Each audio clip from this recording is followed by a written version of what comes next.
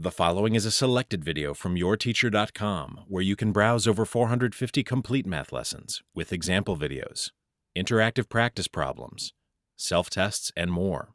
Try a complete lesson today at yourteacher.com. So let's simplify this problem using the distributive property.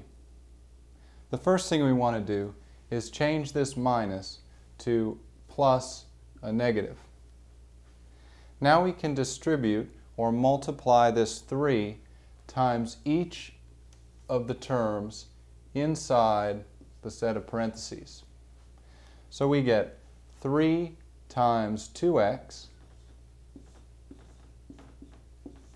plus 3 times negative 5. And this simplifies to 6x plus negative 15.